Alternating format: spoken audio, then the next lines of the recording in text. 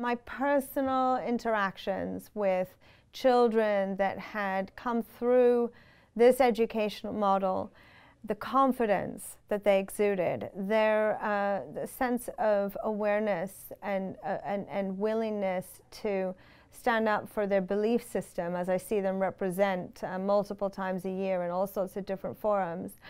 Uh, and also their extreme uh, interest in the creative arts as well as the sciences. There's this wonderful duality in uh, competency and scope that they're willing to embrace as human beings.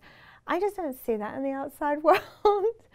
and so I was more and more willing to commit um, my children to, to this education system. It felt like less of an experiment and more as, of a, uh, yes, this, these are the people that I would like to see them um, become